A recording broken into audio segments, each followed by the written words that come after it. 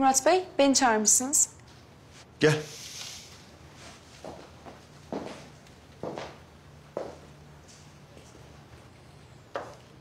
Bu sana. Kimden acaba?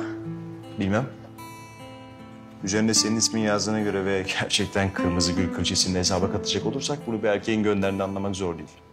Belli ki sevgilin. Ama benim... Ama senin özel hayatın hala benim masamda. Ben de onu anlamıyorum. Anlarız şimdi.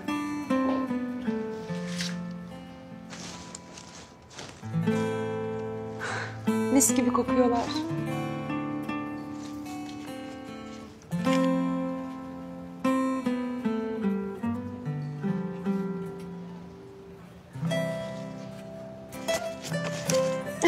Doğru tahmin. Çiçekler bir erkekten gelmiş. Hmm, ya bir yanlış anlaşılma oldu sanırım. Tekrarlanmaması için gerekli özeni gösterip o erkekle konuşacağım. Yani merak etmeyin. Özel hayatımı bir daha masanıza taşımam. Başka bir şey?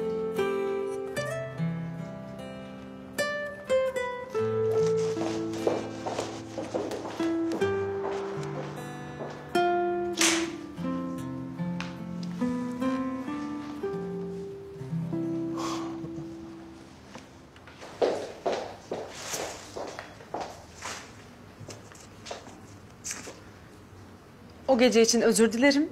Hadi bana bir şans daha ver. Pişman olmayacaksın Cenk. Utanmadan bir de çiçek yolluyor terbiyesiz. Pişman olmayacakmışım. Sen bir daha benim karşıma çık. Bak o zaman kim pişman olmuyor. Ben hayatımda böyle yüzsüzlük görmedim ya.